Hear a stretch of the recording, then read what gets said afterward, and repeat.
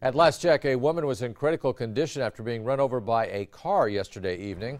The victim, Lisa Victoria Weimers, and police say witnesses indicated the woman had been lying in front of a car in this parking lot near 173rd and, or 73rd and Center. Officers say that Weimers was dragged roughly 40 feet. The driver stopped when she heard screaming. It appears to be a complete accident and so far no citations.